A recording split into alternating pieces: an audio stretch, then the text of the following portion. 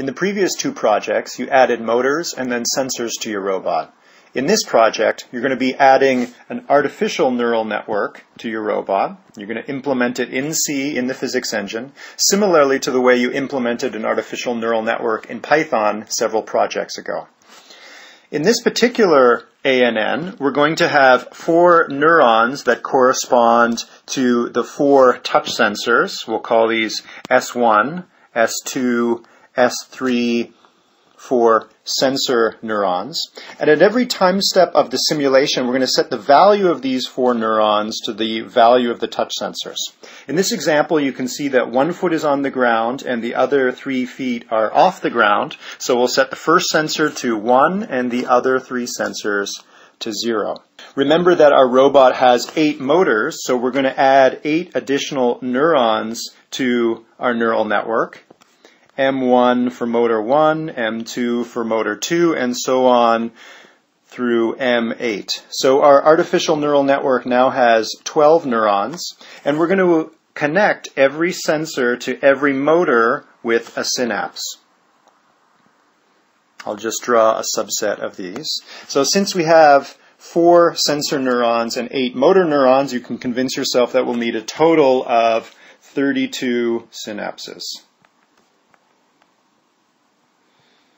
Okay, so at this hypothetical time step, we have uh, one of the touch sensors firing and the other three touch sensors not firing.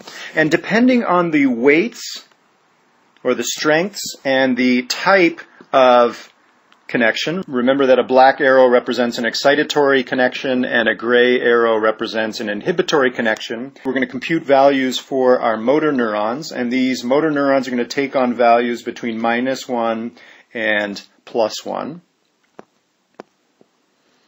And we're then going to take these values, which range between minus 1 and plus 1, and scale them to values in minus 45 to plus 45 degrees.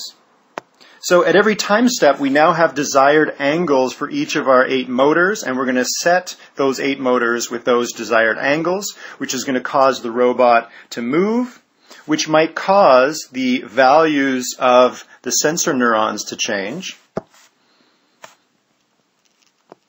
which will then in turn, when we update the neural network, it will also cause the values of the motor neurons to change.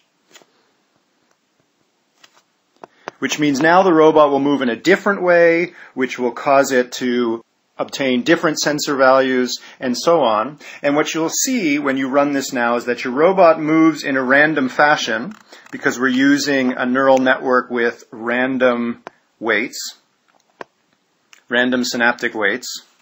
But you might see that it's repeating itself, it's repeating a pattern very much like you saw neuron activations repeating over time when you were setting up your ANN in Python.